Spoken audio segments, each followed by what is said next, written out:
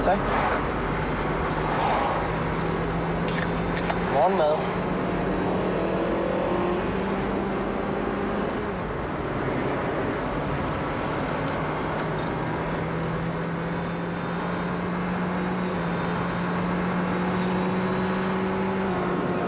Hvad er klokken?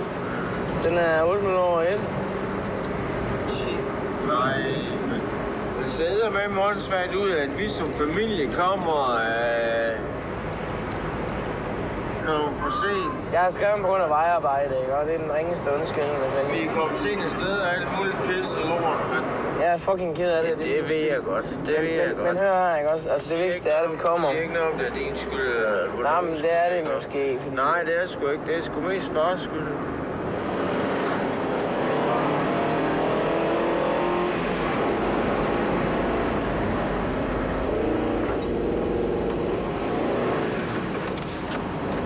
Nej, det er jeg ikke sikker på. Nej, det nu tror jeg, vi skal lige ind og så hen.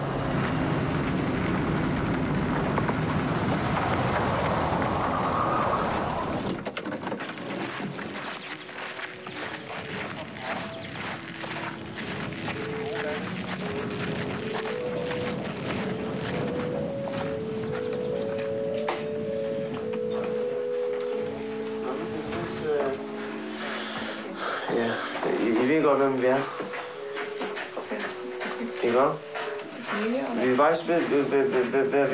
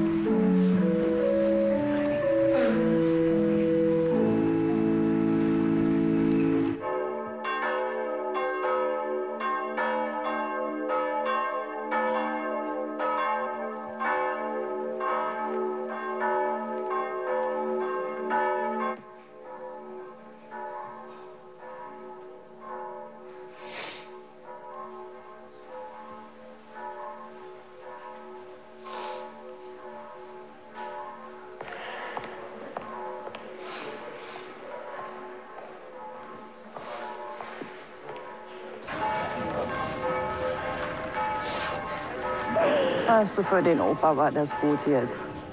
Ja. Er ist jetzt wieder bei seiner Frau. Ja. Sind alle, alle wieder zusammen.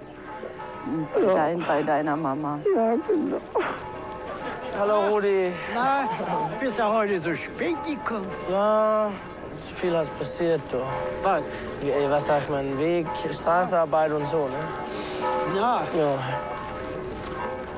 Wir befehlen Hans-Peter Ernst der Liebe Gottes. Leben wir, so leben wir bei Gott. Sterben wir, so sterben wir bei Gott. Segne uns und behüte uns, der allmächtige Gott, der Vater, der Sohn und der Heilige Geist. Amen.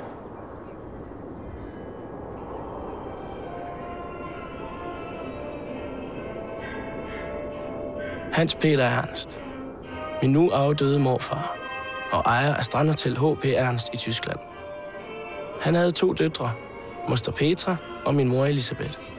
Elisabeth blev gift med min far, og sammen fik de min storebror Christian og mig. Mine forældre blev skilt, og min mor fik min halvbror Andreas med en anden mand. For 12 år siden døde min mor. Derfor er vi tre sønner arvinge på lige fod med moster Petra.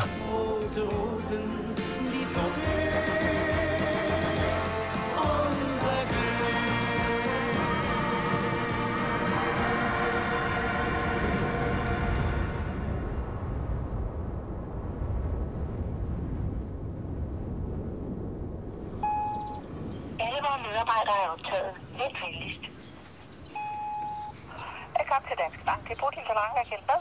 Ja, goddag, det er Henrik Steffens fra Skals. Hej. Situationen er den, at øh, jeg står øh, med en arv, som kommer Det, jeg ringer for, det er for at finde ud af, om det er muligt at hæve min kassekredit, indtil jeg får de penge. Hvor meget har det forestillet, at skulle hæves, øh, hæves med? Jamen, øh, 30 eller 40.000. 30-40.000 synes jeg lige umiddelbart virker er lidt meget til i forhold til, at du er arbejdsløs. Jeg ved godt, der kommer den her arv, men vi er nødt til at afvente og se, hvad kommer der helt præcis, og hvornår kommer det. Hvor meget, hvor meget kan min økonomi bære, at du sætter min øh, Det kan kredit op ikke med? bære yderligere forhold til lige nu.